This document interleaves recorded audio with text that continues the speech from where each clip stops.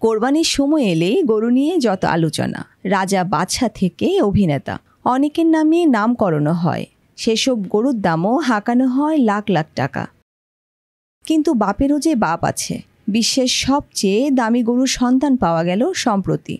সম্প্রতি এক নিলামে গরুটি চার মিলিয়ন বা চল্লিশ লাখ মার্কিন ডলারেরও বেশি দামে বিক্রি হয়েছে। বাংলাদেশি মুদ্রায় যা সাতচল্লিশ কোটি টাকারও বেশি। গিনেস ওয়ার্ল্ড রেকর্ডের তথ্য মতে, এ পর্যন্ত নিলামে বিক্রি হওয়া সবচেয়ে বেশি দামের গরু ভিয়াতিনা উনিশ। এর পুরো নাম ভিয়াতিনা উনিশ এফ আইটি মারা মুভিস গরুটি মূলত ব্রাজিলের।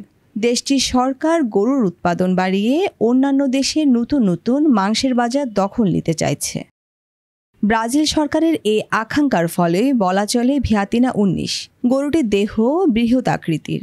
গায়ের রং তুষারের মতো সাদা।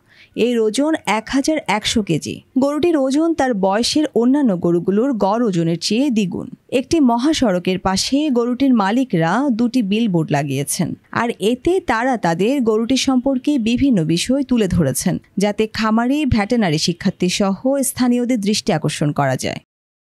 খামারিরা এ জাতের গরুগুলো থেকে ডিম্বাণু ও শুক্রাণু সংগ্রহ করে। ভ্রূণ তৈরি করে সেটি অন্য কোনো গরুর গর্ভে রেখে দেওয়ার মাধ্যমে এসব জাতের গরুর উৎপাদন বাড়ানোর চেষ্টা করছেন। ভিয়াতিনা উনিশের ডিম্বকোষ সংগ্রহের জন্য কেউ কেউ প্রায় আড়াই লাখ ডলার পর্যন্ত ব্যয় করেছেন। যুক্তরাষ্ট্রের কৃষি বিভাগের তথ্য মতে, ব্রাজিলের দুশো মিলিয়নের বেশি গরু রয়েছে। তবে ভিয়াতিনা উনিশের মতো বিরাট দেহের গরুর সংখ্যা খুব বেশি নয়। বর্ণিশা চৌধুরী বাংলাধারা।